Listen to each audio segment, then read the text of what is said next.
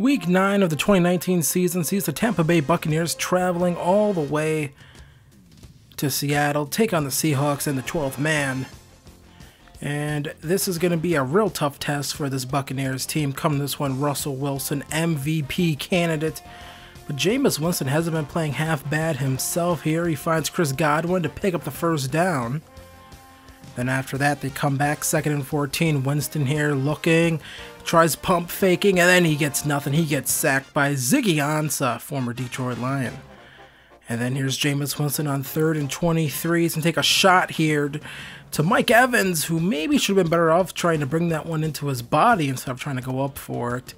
He gets popped. Ball comes loose, and that'd be a punt by this Buccaneers team. And then here's DK Metcalf can't be brought down by the Tampa Bay defense, and he is going to be gone here for a touchdown. Seattle scores. Quick strike there. DK Metcalf, absolutely insane. Who cares about his cone drill when he can do that? I mean, this guy, I mean, the work he puts in on his body is insane. Fast, has the size, has everything you want to see of a young receiver. Then here's Jameis Winston going up to Chris Godwin, who decides to play defense, and that's going to result in an interception. Blair able to pick that one off. As Godwin decides to play defensive back, and Blair plays receiver. A little bit of a weird switch there. Not ideal. Then here's Russell Wilson here, has all day. They just couldn't generate pressure on him at all end of the day with only one sack and just two other hits on him. But apart from that, just a clean day for Russell Wilson. Wasn't able to get hit by anyone. And this Tampa Bay team, they can't generate pressure, and you put the pressure on the defensive backs on this team, it's tough for me. You see that right there once again. David Moore able to get right into the end zone. I have no idea where the corner was just bit on the fake and then the slant inside. That's just too easy. I mean, look at that. I have no idea what Sean Murphy Bunting was doing on that play. Just not ideal. Then after another three and out by Tampa Bay, here's Russell Wilson going up here to Tyler Lockett, who's able to come down with it in traffic. Lockett, 27 yard reception on that play. And then here's Russell Wilson again, second quarter, finding his man Wilson, able to pick up a nice chunky yardage there. That's around eight our third and three. And here's Wilson now. Going to hand it off to Chris Carson. Gets jammed up, bottled up, and then there's blockers downfield for Stewart to safety. And Carson, he's going to be in the end zone for a touchdown. He got a little shaken up right there, I think, but either way, he would stay in the game. Now here's Jameis Winston. Going to find Mike Evans. He gets brought down at the 41. Nice play there, first down. Now here's another handoff here to Peyton Barber. One of the few handoffs. Peyton Barber, only seven carries on the day, 40 yards for him. When you get down 21 points, you just can't go around running the football all willy nilly. Then here's OJ Howard. Somewhat of a quiet day for him in this one. Some of the few times you see him in this game. Then here's Winston trying to find Cameron Brate. He gets brought down at the one. Now Winston again gets pressure, throws across his body, and that's nowhere near a receiver. That's going to be picked off his second of the day. And uh, prime scoring opportunity before the half goes awry for the Buccaneers. Third and eight now. Russell Wilson. Look at that beautiful ball placement. Linebacker tried picking that off, just wasn't in correct position. Russell Wilson again here, finding his man. I believe that was Moore again. He gets sort of dragged out of bounds there. Second and goal. Wilson has all day. There's Wilson again. But he gets disconnected from the football. Third and goal. Play action look here. This is just too easy. And he finds his man in the end zone. Just not ideal defense. That time it's Ed Dickson coming down with the football. Able to make this a 28 to 0 game as the Buccaneers just can't really do anything right today. Then here's Chris Carson. Terrible angle there taken by the defensive back on that one. And Chris Carson able to get extra yardage that he shouldn't have got. That should have been a tackle. That should have been short.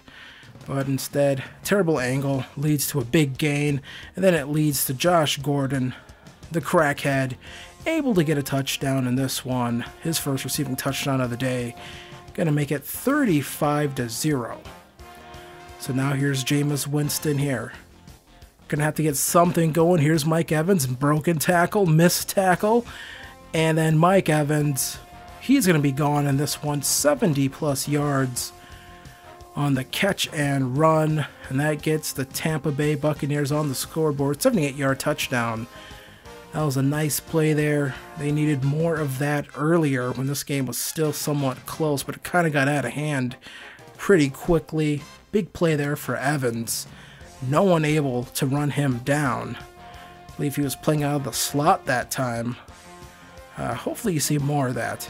Fourth quarter, Winston now drifting back, throws this one up to Evans, who's able to come down with that one. First down, Tampa Bay. Now here's Jameis Winston again. This time Bobby Wagner on Evans. That's a, a, mismatch for sure. As good as Bobby Wagner is, I don't know if you want to put him on Mike Evans in that sort of position. Then here is O.J. Howard, one of his other receptions in this football game.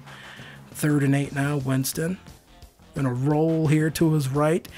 Gonna find Justin Watson, and he's gonna fight his way into the end zone. Touchdown, Tampa Bay. And that'll tie, or not tie it up, excuse me. That'll make it 14 to 38. It'll make the score a little less embarrassing, that's for sure. Watson, that was his only reception on the day. Able to come down with that one and get a touchdown. Just not an ideal day here for Tampa Bay as they're going to fall in this one to the Seattle Seahawks. Seahawks just were the better team throughout just the entirety of that game. Your final Seattle 38, Tampa Bay 14. Jameis Winston 21 to 34, 261 yards, two touchdowns, and two interceptions. Mike Evans, five receptions, 143 yards, one touchdown, and Justin Watson, one reception, 23 yards, and one touchdown. Russell Wilson, 31 of 38, 443 yards, four touchdowns on the day for him. Chris Carson, 25 carries, 157 yards, one touchdown. Tampa Bay came into this game uh, really just shutting down the run in every other game this season, but Chris Carson was able to bust right through this Tampa Bay defense. And then DK Metcalf, four receptions, 144 yards, and one touchdown on the day for him. As Seattle improves to 7 and 2, and Tampa Bay falls to 6 and 2. So that game didn't go as I had planned, so uh, that kind of sucked. Um, that was just tough game to play. And uh, we come back here and we have an upgrade for our center. We're going to go power here because our run game has just completely gone away. And uh, we definitely need to get that going again with Peyton Barber and those boys in the backfield. And then here's Tony Brown, recently signed off the Packers practice squad and go man to man on him. Uh, I think he has some potential to be a really good corner for us um, going forward. And then we have a few more upgrades after we did some practice. Here's Devin White. And uh, this one is a little tough, but uh, what I wanted to go with, and he has run stopper that makes him a scheme fit, but he just needs to be better in coverage. And uh, we're going to go there. Coverage for him. He's superstar.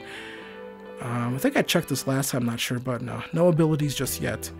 And here's Josh Malone, another guy that we uh, just signed off the practice squad, and uh, deep threat for him. And that's a pretty nice upgrade, actually. So he should be seeing the field just a little bit more. He's a pretty nice player, nice speed. And then another linebacker, Kevin Minter. This guy just might be on uh, special teams, not sure, but upgrade for him. Field general. That's all nice. And then so after that, next game, we will we will be playing the 4 and 5 Arizona Cardinals. So for the season, we've done well against bad teams, so maybe we can feast here and get back to our winning ways in the next episode. And uh, subscribe, and I'll see you guys later. Peace.